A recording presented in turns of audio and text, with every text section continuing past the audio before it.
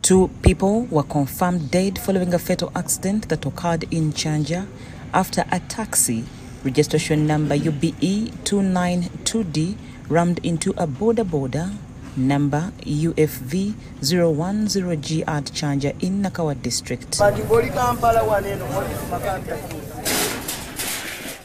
According to eyewitnesses, the taxi was traveling from Kyanja when it overturned and the driver hit the passengers who were on the boda boda.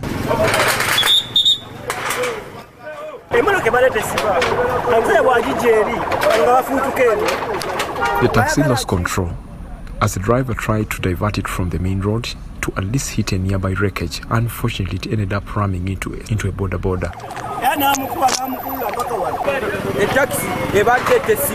The driver seemed to have lost control. It was heading to Kyanja from Mbuzi. The driver passed on immediately after the accident.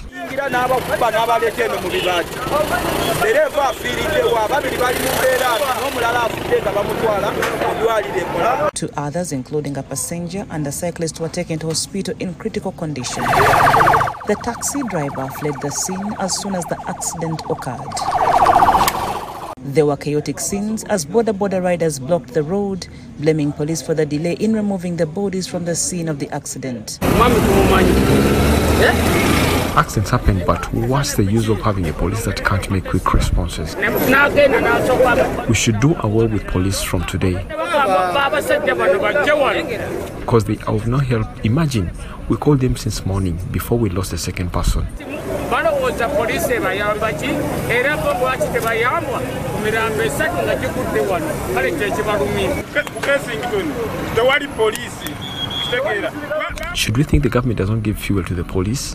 Why are we suffering yet we pay taxes? tanu zigenda mukaaga baakatuuka saawa zineeno The bodies were later taken to the mortuary for further examination. Report compiled by Ronald Kasasa for the news.